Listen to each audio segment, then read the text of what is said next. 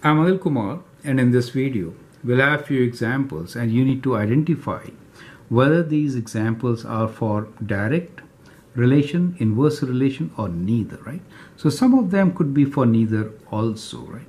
So what I will do here is first I will sketch few graphs for you. And from those graphs you have to figure out whether these are the examples of direct variation, inverse variation or neither, right? So here's the first one. So the graph of this is kind of going like this. The second one is that the graph is is kind of like this. And the third one is with a graph which is kind of like this. Now you have to identify from these whether they are direct variation, inverse variation or neither, right? So so when I'm giving this axis, we'll assume this always to be x, that to be y, right? So I need not write them, but that will be always assumed. Is it okay? So anyway, here let me write all this for you. So think about it. Out of these, which one is direct, which one is inverse? Do we have any? Or they're all neither, correct? So if you look at these graphs, we can figure out that this one is not direct since it is a straight line but it does not go through the origin so it cannot be direct. So it is and it cannot be inverse because it is a straight line. So straight line could be a direct relation or not a direct relation correct? So this one does not go through the origin so it is not neither I should say okay? It's neither of these two correct? In this case, it goes through the origin and it's a straight line. Since it is a straight line goes through the origin, it has to be direct. And here, what we observe here is that the graph will never go through 0, nor will it reach x-axis or y-axis. And from the shape of it, it seems to be inverse. We see that as x increases, y decreases, and as x decreases, y increases, correct? So, so the reason for our selection here is that this is linear, not through origin, is that therefore it is not direct, right? This one is direct since it is linear through origin. Therefore, it is direct. It is inverse since it is it follows reciprocal function. What I'm trying to say, like 1 over x graph. And as x increases, I should say, as x increases, y decreases.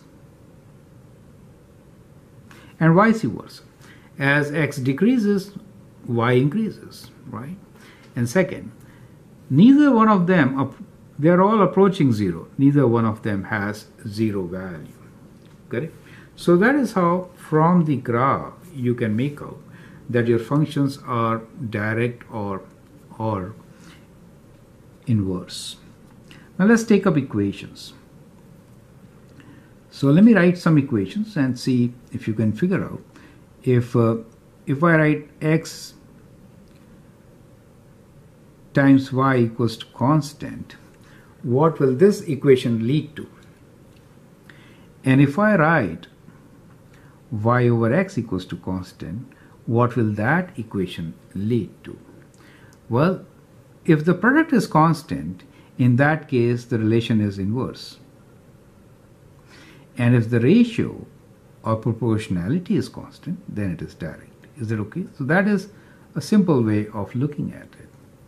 We can always rewrite this as y equals to k over x and this one as y equals to k times x. Now it is kind of easy to figure out. Is it okay?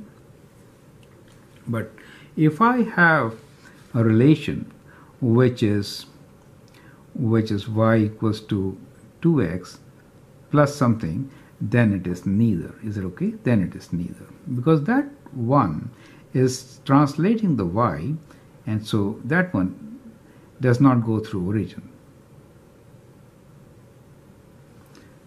Correct. Now from table of values, let's try to figure out from the table of values how do we find direct and partial. So, so let me write down few values and uh, let us say let's make this question slightly different. So we want to write values which will support direct relation. And in this case, we want to write values which will support inverse relation. Correct? Now if I write here, let's say 4, uh, okay, so let me write down x and y values, okay, x and y values in both the cases, okay. Let's write down 4, 4 and 5, 4 and 5, okay.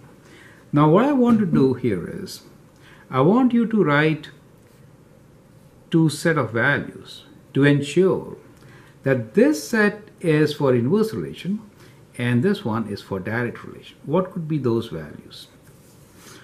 Okay, if I increase this, let us say, so, so if I write here, for example, uh, 5 and if I write 6 here, what could be those values?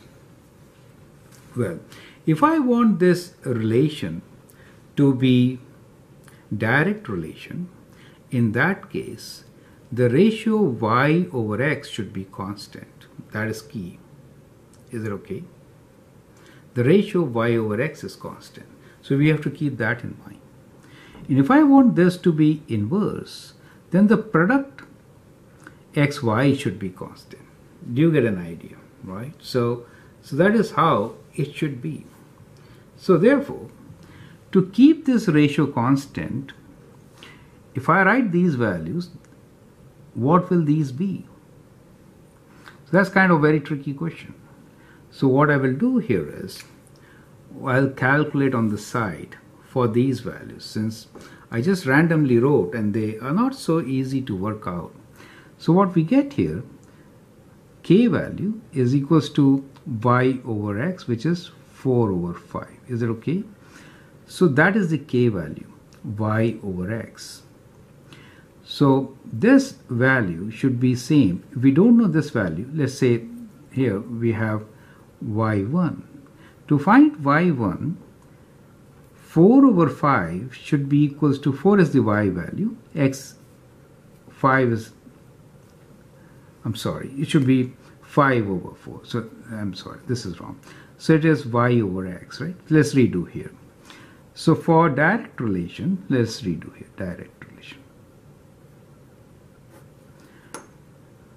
K is equals to y over x. Now in our case, y is 5 and x is 4. So it is 5 over 4. And that is, k is a constant. So in this case, we are given the x value as 5. So what happens here is that we can replace this value by 5. So we get y over 5, the x value, should be equals to 5 over 4, correct? And that gives you y value as 25 over 4. Do you get it? So this value should be 25 over 4. It's not an easy value to get, okay? Now what should be that value? We'll do exactly the same calculation, okay? x is 6, 6 for us in that case y over 6 is 5 over 4 so the value should be 6 times 5 cross multiply right so it is it gives you let me write here uh, y equals to 6 times 5 over 4 right that can be simplified so 30 over 4 or 15 over 2 right 30 over 4 or 15 over 2 so this value will be 15 over 2. So those are going to be the y values. Do you get it? Right? So, so this is the calculation part for filling up these values. Now for the inverse relation, I'm not getting into these details, right? I'll give you a question which will uh, make you think about it. But here, what I'll choose is that I need product to be constant, right? So in this particular case, uh, 4 times 5 is equals to 20. So I'm looking for numbers whose product is 20. So I could write a value which is, let's say 2 and 10. That will give me 20, right? I could also take negative values, both negative. That's important to understand. We can take negative values also, right? So we could take minus 10 and minus 2. When you multiply these two, you again get 20, right? So still a inverse relation, correct? So in inverse relation, we could get a graph which could be on the other side also, right? So, so that is how we can build on the values to make that relation as inverse or direct as shown here in this video. I hope that helps. Now as a test, since we worked on these fraction values here, let me write down a number which will give you a hard time in finding the x value. Uh, let us say that number is not a multiple of, of 20 and I'm writing a 17 as a number for y. If y is 17, find the value of x. So let this be the exercise for you. I'm Anil Kumar and I hope this video helps you to capture what we have learned about direct and inverse relation. You can always share and subscribe my videos. Thank you and all the best.